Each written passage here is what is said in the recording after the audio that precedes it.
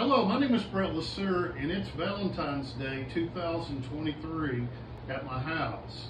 This is my 12 foot Valentine's Day tree for 2023, and I want to say Happy Valentine's Day 2023 to my family and friends around the world.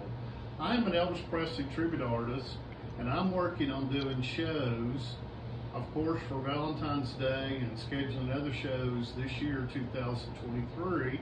And since I am a Elvis Presley tribute artist, I'm going to sing uh, a song that Elvis did in the 1950s called Love Me Tender.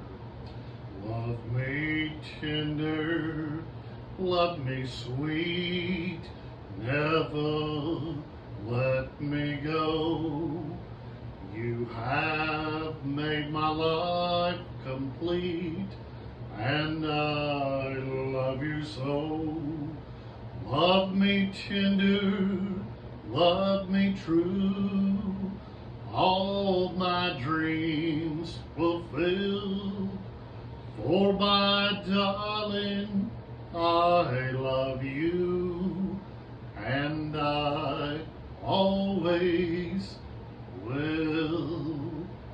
Happy Valentine's Day 2023 from my house. May God bless you. Thank you very much.